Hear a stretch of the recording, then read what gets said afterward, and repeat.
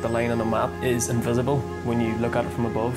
From Germany to Mexico to Paris, this project reached people's hearts.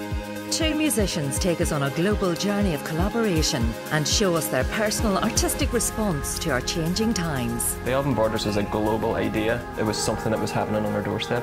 BBC Arts NI presents Borders, Thursday at 10 on BBC Two Northern Ireland.